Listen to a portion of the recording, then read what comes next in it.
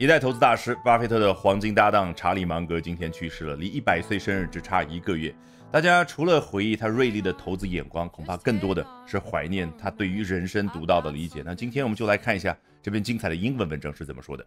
Charlie Munger, the witty polymath and right-hand man to Warren Buffett, has passed away just a month shy of becoming a centenarian.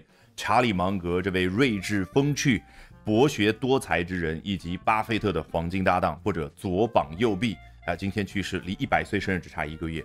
这个 witty 和 funny 有什么区别呢？你想起憨豆那个形象，你可以说 he's a funny person。但是 witty 比较强调的是一个人说话呢充满了智慧，同时呢又很幽默。哎，你想到谁？留言区告诉我。那 polymath 来自于希腊语比较高级的一个词啊，poly 表达的是 multi 就是多，那 math 呢原本并不是数学，而指一个人 learning 去学习的一门学问。那数学当然也是一门学问，所以那个词之后就在这个基础之上产生了。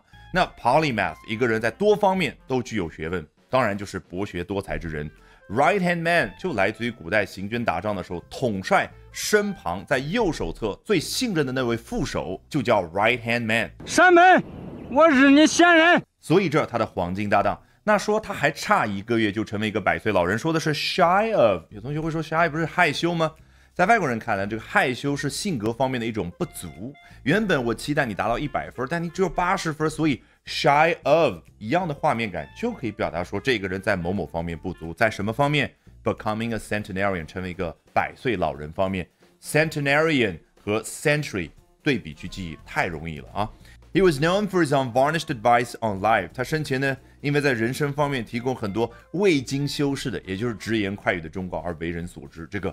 Unvarnished 当然来自于 varnish 这样的一个名词呢，哎，指的是呃在木板上面刷的一层亮漆，一下子就起到一个修饰的作用。所以刷漆这个动作也可以叫 varnish。那 unvarnished 没有刷漆，未经修饰的，当然在这个语境当中相当于直言快语的。He said earlier this year that success can hinge on the company you keep.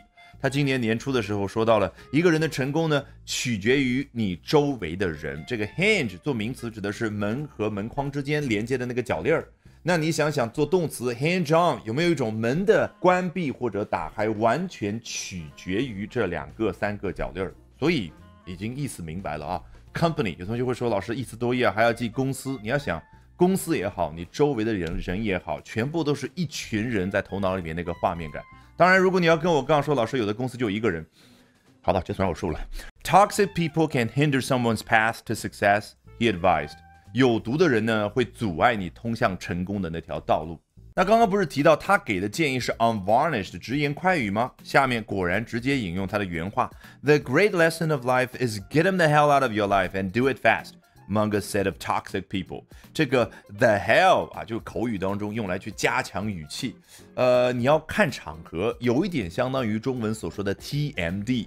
呃，假设呢，你听到一个中文并不流利的外国人说“真他妈的好”，你听了之后作何感想？所以我的建议是，你的英文没有到那个程度，或者你和对方的关系没有亲密到这个程度呢，尽量少去像母语者一样去使用 the hell，可以把它换成 the heck 试一试。It's so simple to spend less than you earn and invest shrewdly and avoid toxic people and toxic activities and try and keep learning all your life and do a lot of deferred gratification, Munger said at the annual meeting of Berkshire Hathaway in Omaha in May. 大家都知道，芒格和巴菲特两个人每一年呢，大概五月份的时候会在奥马哈会举办一年一度的叫 Berkshire Hathaway Annual Meeting，伯克希尔哈撒韦世界上最成功的投资公司之一或者没有之一年会。 在年会当中呢，他就说到了下面这样的一个人生忠告：It's so simple to spend less than you earn。第一个建议，要做到你花的钱少于赚的钱，比较容易吧。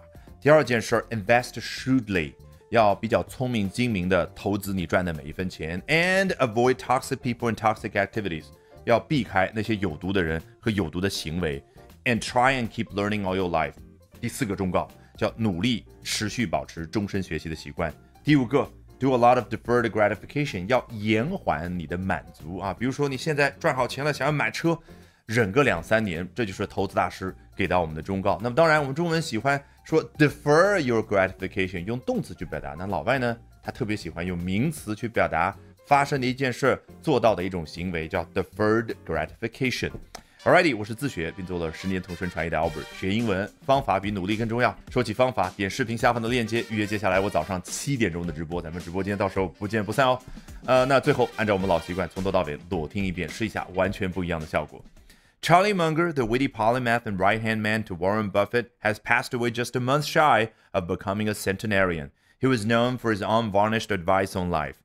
He said earlier this year that success can hinge on the company you keep. Toxic people can hinder someone's path to success, he advised. The great lesson of life is get them the hell out of your life and do it fast, Munger said of toxic people. It's so simple to spend less than you earn and invest shrewdly and avoid toxic people and toxic activities and try and keep learning on your life and do a lot of deferred gratification, Munger said at the annual meeting of Berkshire Hathaway in Omaha in May.